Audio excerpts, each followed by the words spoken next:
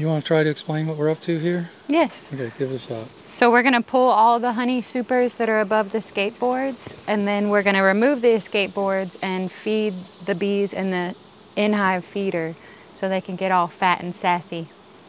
Fat and sassy. That's a, good, that's a good way of putting it, yeah.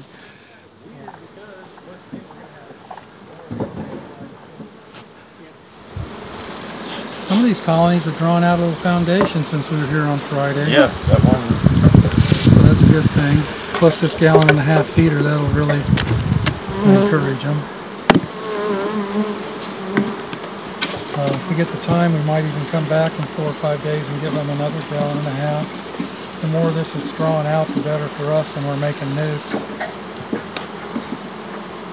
This is uh, just a little thinner than one to one. You put, we're putting a thousand pounds of sugar in 250 gallons of syrup.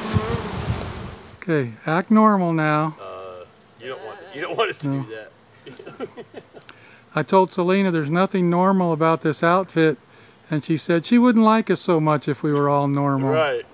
So Thank you. All right. We'll take this load back to the shop, and then we'll start phase two, I guess. Uh, yeah, right. We're at a yard we call War Woman 2. We have two yards on a road called War Woman Road. Leads out of Clayton towards South Carolina. It's really close to the Chattooga River, which is the border between South Carolina and northeast Georgia, the very upper corner of South Carolina. This might be one of our better sourwood locations this year. These guys actually, for the most part, have three full supers. A few of them only have a half a super in the top box, but they did pretty good. Kind of surprised me because I have several yards north of Clayton that didn't do all that well.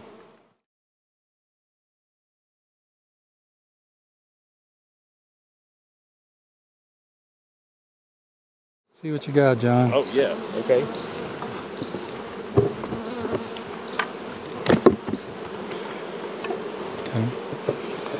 Bottom two supers were very full the day we came and put these third stories on. That box is about half full, so this colony made two and a half. Nothing wrong with that, and it tastes pretty good. Just some of our better tasting honey this year. Some locations made a lot of sourwood, but it doesn't taste like it normally does. I'm not quite sure what to make of that. These were some colonies that were double deeps and then got shipped down into a single. So, They did all right. doing all right.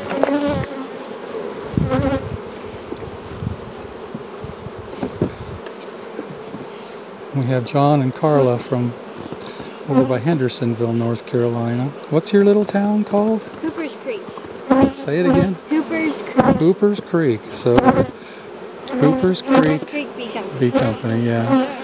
I got a few hundred colonies over there in North Carolina, and they're just here, here for the fun of it today. Really old mountain cabin up there behind the bee yard. This area is uh, very beautiful. Rabun County, Georgia. Their claim to fame, for better or for worse, is this is where the movie much of the movie Deliverance was filmed, and some of it was filmed on the Chattooga River. Um, many of the locals were in that movie. The fellow that played the banjo, the young man that played the banjo, he was local. He was a short order cook in town, and he worked at Walmart in his older age as a greeter. And several of the people in that banjo scene were local folks. And the local folks weren't entirely happy with how they were depicted in that movie.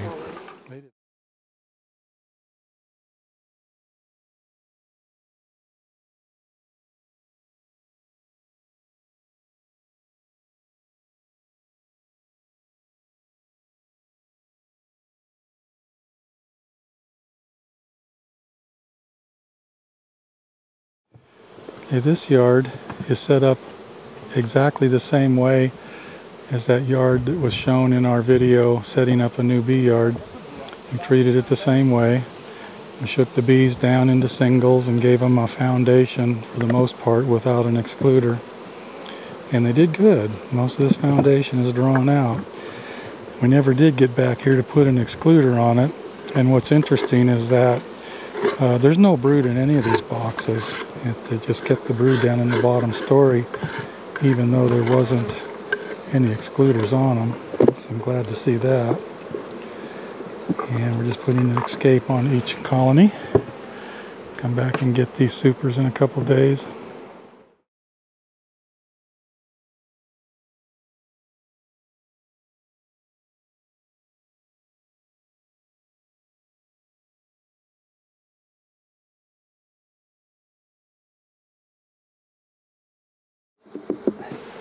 Seth, see if you can show, see these cells right here? See if you can get in there and get a really good shot of the larva in there. If you look closely, those larvae are not sitting in a pool of brood food. In fact, some of them have almost none at all. And that is an indication of poor nutrition. So it's a lack of pollen basically. I mean, I see a little pollen on the edge of the comb, but we see no pollen coming in. And uh, a lot of the colonies, a lot of the nucs in this group look just like this. So if they had good nutrition, those larvae would be sitting in a pool of brood food. So we're gonna have to keep we're gonna have to keep a very close eye on this. Um, I know we have this field corn that's going to bloom soon, or not bloom, tassel, which is where they get the pollen. But corn is really deficient in a lot of stuff. Corn pollen is not uh, really good nutrition. Most windblown pollens are not good nutrition. I suppose there are probably a few, but I don't know of any. Corn pollen is a windblown pollen, so is pine pollen and many others. And as far as I know, most of those are not premium nutrition. The type that stick to the bees when they're uh, visiting flowers, that's usually better nutrition. Anyway, we be, we'll have to pay real close attention to what's going on here. I don't want them to continue in this state very long. We could give them pollen patties or pollen supplement patties, but I hate to do that this time of year because although I don't see hardly any beetles in our colonies, it only takes a few to create havoc in those patties that can really make a mess of them. So we'll, we'll be keeping track of this.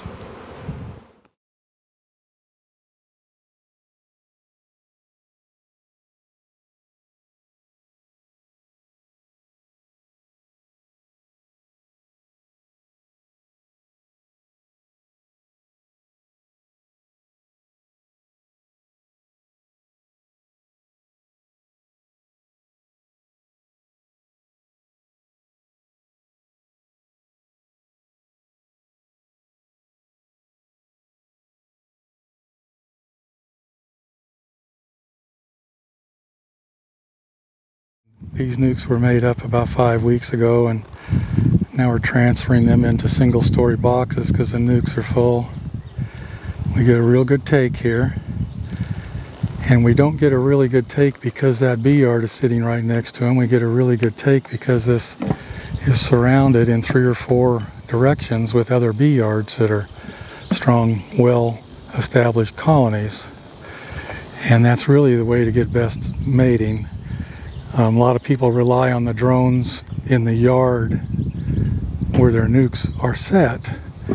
But they've done studies and found out that uh, when there are ample drones in all directions, that uh, very little of the semen actually turns out to be from drones from the same bee yard that the queens originate in.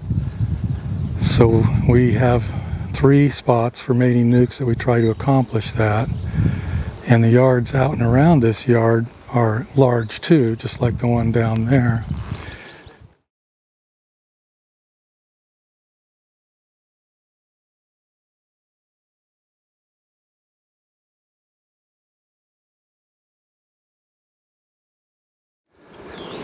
The sourwood flow is just about over here, has a few more days, maybe five or six at the most.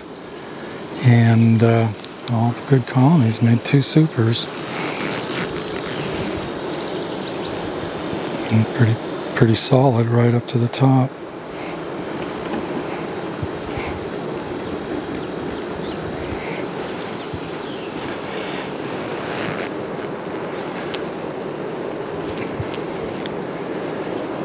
Look at the propolis on that thing.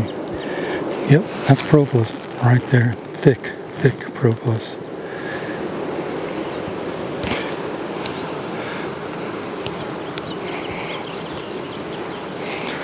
See what this one did. Yeah, maybe. Yeah. We'll be pulling this honey off in about a week. Soon as soon as they're done, we get the sourwood off as soon as they're done.